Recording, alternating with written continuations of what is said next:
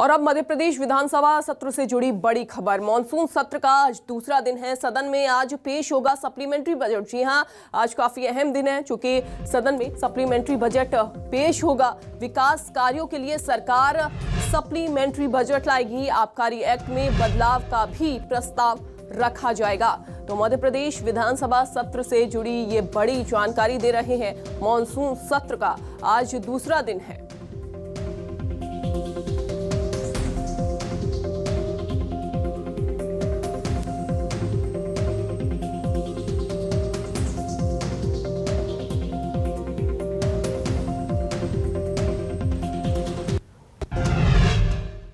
और इसी खबर पर ज़्यादा जानकारी के साथ हमारी सहयोगी सदफ हमें जुड़ गई हैं। सदफ, आज दूसरा दिन है सत्र का और सप्लीमेंट्री बजट लाया जाएगा। जी देखिए, आज मॉनसून सत्र का दूसरा दिन है और आज सदर में हंगामे होने के पूरे आसार हैं क्योंकि सरकार की तरफ़ से सप्लीमेंट्री बजट पेश किया जाएगा। विकास कार्यों के लिए ये बजट पेश किया जाएगा लेकिन इस बीच जो 12 संशोधन अलग अलग एक्ट हैं वो भी पेश किए जाएँगे जिसको लेकर सदन में भारी हंगामा हो सकता है क्योंकि सरकार आज आबकारी एक्ट में संशोधन का विधेयक पेश करने वाली है। इसके अलावा अगर हम बात करें जो अवैध कॉलोनियाँ थी उनको वैध करने का जो प्रस्ताव है वो भी पेश किया जाएगा। आबकारी एक्ट की अगर हम बात करें तो देखिए आबकारी एक्ट के लिए सरकार एक कानून लाने जा रही है जिसके तहत जो भी अब जहरीली शराब का कारोबार करता है या बेचता पाया जाता है तो उसको उसके ऊपर कड़ी कार्रवाई की जाएगी यानी कि सख्त कानून बनाया जाएगा जैसे कि मृत्यु दंड दिया जाएगा या फिर उम्र कैद की सजा सुनाई जाएगी। इसी को लेकर सरकार आज ये विधेयक पे, पेश करने वाली है।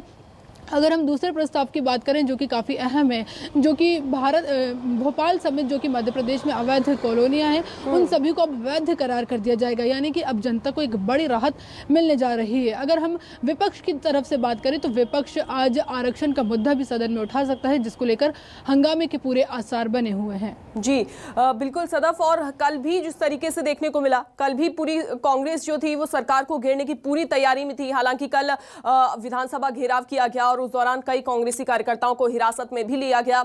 आज भी इसी तरह के चूँकि लगातार ये कहा जा रहा है सरकार की ओर से कि मुद्दे उठाए जाएँ, सवाल उठाए जाएँ, सरकार उनका जवाब देगी। लेकिन विपक्ष पूरी तरीके से सरकार को घेरने की तैयारी में है। जी बिल्कुल देखिए सरकार की तरफ़ से लगातार कहा जा रहा है कि हम हर मुद्दे पर चर्चा करने को तैयार हैं लेकिन जो विपक्ष है उसका कहना है कि एक तो मानसून सत्र बहुत छोटा आयोजित किया गया है यानी कि हम्म। चार दिन का ये पूरा सत्र है जिनमें से एक दिन कल बीत चुका है यानी कि अब विपक्ष के पास सिर्फ़ तीन दिन बचे हैं अपने मुद्दे उठाने के लिए और विपक्ष का हम्म। कहना है कि हमारे पास मुद्दे बहुत है अगर हम बात करें महँगाई की बात करें या फिर क्या नाम से गरीबों को जो राशन दिया गया है उसको लेकर भी सरकार विपक्ष लगातार सरकार पर हमला बोल रही है उनका कहना है कि खराब अनाज जो है गरीबों को बांटा गया है इसके अलावा हम बात करें बाढ़ प्रभावित इलाकों की जहाँ पर लोगों का काफ़ी नुकसान हो गया है तो उनको भी लगातार मुआवजा देने की राहत पहुँचाने की विपक्ष लगातार बात कर रहा है तो ये तमाम वो मुद्दे हैं जिनको लेकर सरकार आज घिरती नज़र आएगी लेकिन आपको एक और बात बता दें कि जो बीजेपी है सरकार है उसने भी कल विधायक दल की बैठक बुलाई थी जिसमें हम्म। विपक्ष को जवाब देने के लिए रणनीति तैयार कर ली है यानी कि दोनों ही तरफ़ से तैयारियाँ तेज हैं रणनीति बना ली गई है अब ये पूरा ही हंगामा आज सदन में देखने को मिलेगा हम्म। बिल्कुल सदफ और साथ ही क्योंकि रणनीति बनाई गई परसों कांग्रेस विधायक दल की बैठक हुई, कल बीजेपी विधायक दल की बैठक हुई, रणनीति दोनों तरफ़ तरफ़ से चल रही है, लेकिन हंगामे की पूरी आसार देखने को मिल रही हैं।